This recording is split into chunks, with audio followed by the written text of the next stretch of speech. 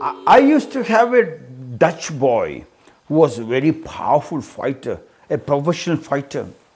Whenever he comes with me, we goes to Okabe-san's place, a Japanese man who is running a business.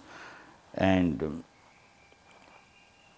when I first took this Dutch boy, the Okabe-san kept telling bad about the Dutch boy's master, telling that your master is a gangster, the master is not a good man, he's a drunkard, he is a womanizer, all these things. The boy listened for long time.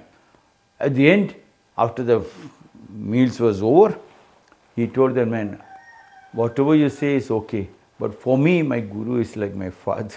I can't change that opinion. Whether my father is good or bad. I was shocked from that realization of the Buddha.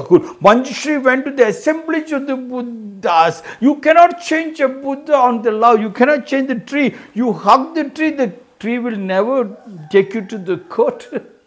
Instead, the tree gives you power. The tree continues to give you flowers whether you pay him or not. When he arrived there, the conference was over and each Buddha had returned to his own Buddha land. Yes, you cannot reach a conference place to, to pick up something because it has already gone. If you hold it, it uh, runs away. Keep it open, it stays